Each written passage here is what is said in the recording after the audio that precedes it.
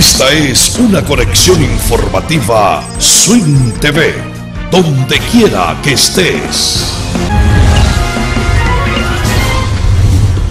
Gobernador presenta proyecto turístico y comercial a los concejales para conseguir la adecuación de la zonificación comercial y turística de la antigua almacenadora Caracas y de los terrenos del Pavero el gobernador Jorge Luis García Carneiro presentó este miércoles el proyecto del Centro Turístico Deportivo y de Negocios ubicado en Macuto y del nuevo centro comercial de Catialamar a los concejales del municipio Vargas. García Carneiro detalló la inversión que está ejecutando el gobierno nacional y el proyecto que rescatará más de dos kilómetros de franja costera,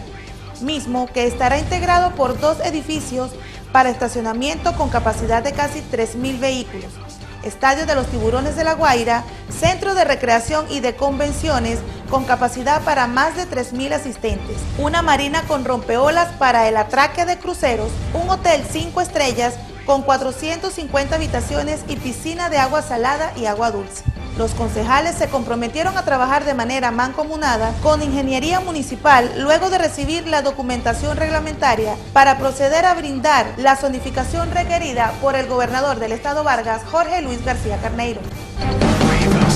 Esté pendiente de nuestra próxima conexión informativa Swing TV, donde quiera que estés.